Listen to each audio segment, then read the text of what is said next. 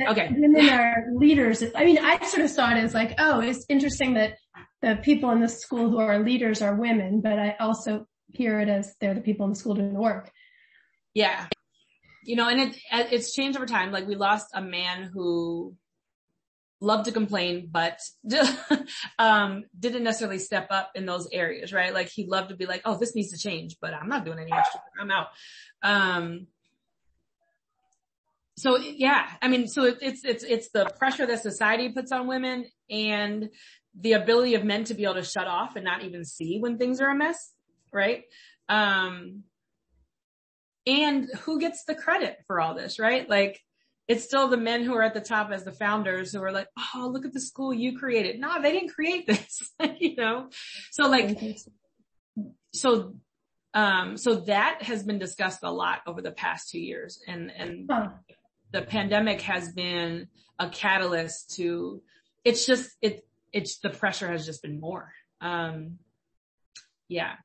You know, what, what looks like freedom from the outside of being a, a, a teacher run school, um, it, it, has been a lot of free labor. Um, yeah. because, and, and what really like opened that people's eyes to that was like, we're teacher run until it's no longer convenient. Um, when the biggest decision we could possibly make was like, who's going to follow up Simon when he leaves? Um, you know, the way he decided to announce it last year was at the end of a meeting at the last two minutes. Um, and he announced both that he was leaving and that Ayana was taking over two minutes, no chance to process, no space for feelings whatsoever, right? Because he's not comfortable with feelings, then no one else gets to be comfortable. If you know what I mean? Like no one else gets the space that they need. Clearly not trauma informed in any way. And I had already spoken when I found out this was going to happen. I spoke to him. I said, this is not okay. You cannot do this to people. You cannot combine these, you know, announcements. You cannot, um, this is not enough time for people to, to process. You're going to have a big lap, backlash. And he basically took it as like, Katrina's going to come after me and she's going to get her people after me. um, as opposed to me warning him, I'm listening. Like I have my ear to the ground and I know what people are saying and I'm telling you this isn't going to go well. And it didn't go well. Were people upset about the process or about Ayanna? It was, well, at that time was both, um, for different reasons. So again, the biggest part was like, wait, you said it's a teacher run school. How did you just make this decision? How is it that we're, we can make the tiny little, oh, do we want blue or do we want red paper? But like when we talk about the things that really matter, all of a sudden we can't be a part of this decision. Well, didn't we communicate it to you? And when would that be, sir? There were some people here, bef- like who didn't, who came after Ayanna. So you haven't brought this up literally since then. So how are they supposed to read your mind? Where is it written? Did you give them something to read? I know you didn't, but like, you know, and it's just that lack of like, I can see what I want to see and, and anything that's a blind spot is somebody else's problem. Um, and, and that is building, like it's, it's, there's a lot of people who are ready to leave. Um, yes. And are people feeling, um, oh God, this dog is driving me nuts. Um, he's like, wants to be in and out of and, and out. So now he's like sitting outside are people, um, so like with Ayanna, was it like, how are you feeling about her leadership and how the school's been under her leadership? Because, you know, if a lot of issues were gender and now you've got a woman in charge. Yeah. Well, and a lot of the issues that we had are actually still happening. Um, lack of communication. Um, you know, so she decided to leave a meeting early yesterday. I mean, I guess she had to be somewhere, but I guess that meant she also was like, well, I'm going to leave for the least important part of the meeting. Then we, oh, that was on Wednesday. Sorry. That's when we decided we're like, well, we're going to raise a vote to extend this time of, um, well, I was like, I have a proposal because I think yeah. somebody needed to make the proposal. It should have been her. It, it could have been her. It could have been at the other part of the meeting. Nobody said anything about proposing. Can we set a time limit to this time that we're like, it can't right. be just open ended that nobody feels comfortable with that. Like right. everybody keeps asking, the kids keep asking every day. So when, like, how long are we doing it? And, and no one has even said, it, it doesn't matter. It, even if it's, okay, on Friday, we're going to reassess or on Wednesday, we're like whatever. It doesn't matter what the day is. We just need a day. Yeah. So I said, I propose this particular day, um, as the end of, you know, virtual learning on the Wednesday before we will reassess to see if that day needs to be extended. Perfect. I think that's reasonable.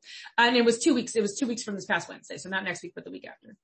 So then the next morning she comes in, how are you, Katrina? And I'm like, I'm quite anxious actually, but that's not what she came for. So that one, that was over fast. She's like, I would appreciate if you're going to have a vote that I know about it ahead of time. And I'm like, it had nothing to do with me. I don't know why you're bringing that to me. like, you know what I mm. mean? Like, this is a power play. Why are you coming to me to say that? Mm-hmm.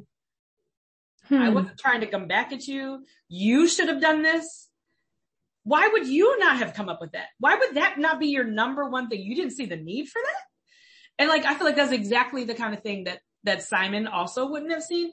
The only difference is if I had said it to Simon, he would have been like, go ahead, do it. Cause you're doing the work, you know, basically. you know, so now it's like, oh, now I have a power play because it's a woman coming against a woman. Um, and I'm like, it's not a power play. I'm just thinking well about the school. I'm sorry that you don't have to do that. Right. you know, I here, here, you know what? This is a piece that I think will answer your question too, which is a few years ago, maybe it was, we just, we realized, a few of us realized the reason why we're struggling with leadership is we have always needed somebody to be the lead advisor.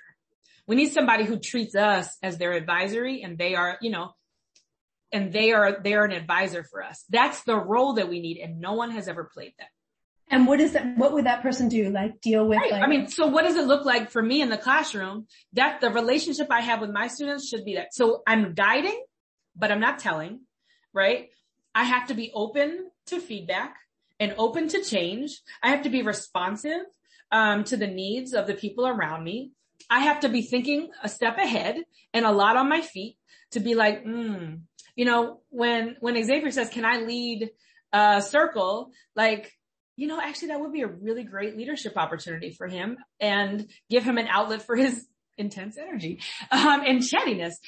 Um, you know, like I have to be thinking about like, you know, instead of this like, oh, they're trying to take over. Xavier wants to have more power in the classroom. How can I hold him down? You know, like, right. or chain of command, chain of command, you know, which is pretty much the, the rest of the district.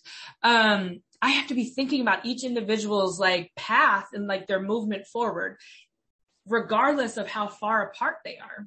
Mm-hmm. Um, so I think that's what, what it means to be a solid, um, uh, advisor for an environment. I mean, I actually think I could do the job. I'm not technically qualified because I don't have, but I do think I think about, um, I think I can think about the big picture and I think I can think about the individuals and what they need and I can listen, right?